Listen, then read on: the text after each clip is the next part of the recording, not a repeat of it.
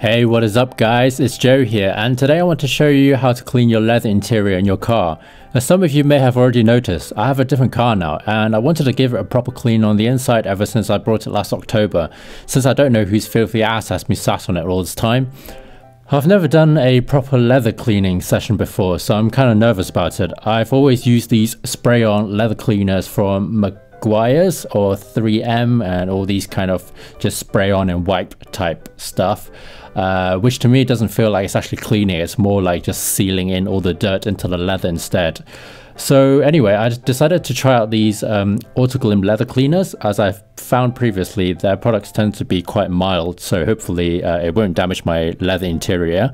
Anyway, enough talking, let's get straight to it. First step, if there's lots of dirt on your seat, just give it a quick vacuum clean. Step number 2. Spray the Autoglym leather cleaner directly onto the leather surface and agitate it with a brush. But don't use too much force and make sure you give it a good, good old brushing between the gaps and stitching areas. Step number 3. Wipe the surface with a damp cloth turning frequently. What I did was use a bucket filled with warm water and kept on rinsing the cloth after a few wipes. This step takes quite a long time I must say as you keep on rinsing and wiping the cloth for like a million times for each section. I kept on doing it until there was no more soapy type stuff appearing on the leather when I wiped it over with the damp cloth. Step number 4. Let the surface dry naturally or you could wipe it with a dry cloth or towel if you want to speed up the process, but it didn't take too long for mine to dry despite how wet the seat got after all the damp cloth wiping actions. The outside temperature was around 12 to 15 degrees in my case, so I didn't have to wait too long for the leather to dry naturally. Now before I continue with the rest of the car, I thought I'll show you guys what the difference looks like before and after a simple clean. As you can already see before I take off the masking tape, the difference between the clean and dirty side is quite staggering and obvious. The clean side which is the lighter colored side in case you are confused, is so much softer and matte looking compared to the darker sticky glossy side. But we haven't got time to waste as there are plenty more areas to clean inside the car. After this, I didn't film any more of me cleaning as the same steps apply for all the other surfaces, which includes the front driver and passenger seats, the door side panels, both of the rear seats and side panels, all in all, the cleaning part alone took me around 7 hours to do, which is a lot of hard work I must say. It's definitely not as easy as it sounds, but it's definitely worth the effort as the results are simply astonishing. astonishing.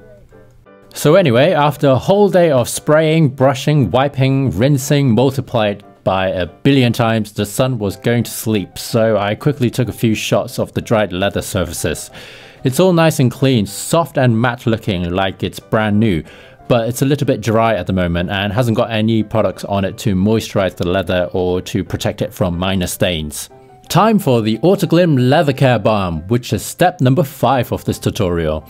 I used a sponge to wipe the leather with because it spreads easier and any excess will be absorbed by the sponge again while I'm treating the surface. You seriously do not need a lot of this stuff. I put a small drop onto the sponge, folded it a few times and just spread it all over the now dried leather surface. As you can see, it immediately nourishes the surface. I did worry that this product might leave a glossy finish since I've never used it before, but reading the instructions at the back, it says that it can take up to 48 hours for the balm to cure and set. After I finished treating all the surfaces, uh, the sun is finally setting and there's no more light for me to use. The next morning I went out to check on the leather and to my amazement it does look less shiny, almost matte. There are a few ways you can help to minimize the shine by not using too much product in the first place, use the sponge to absorb the excess, and you could use a towel or cloth to buff the leather with after you applied the balm. But I didn't need to do all these extra steps and it's looking awesome as it is. Here are some more shots after two days without any more buffing or anyone sitting on the seats to absorb the balm.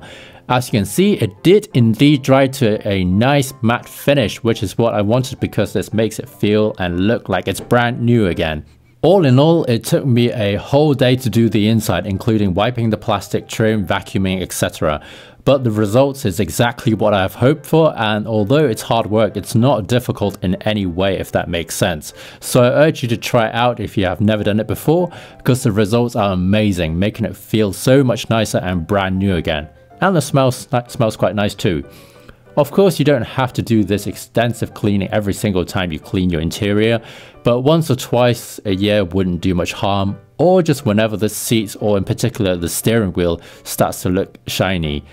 Unless you want it to look shiny, which some of you may prefer, I'm not here to judge. Anyway, thank you very much for watching. I hope this was helpful and I encourage you to try and clean your leather interior if you have never done it before like me. My name is Joe and I will see you guys next time. Thanks for watching. Goodbye.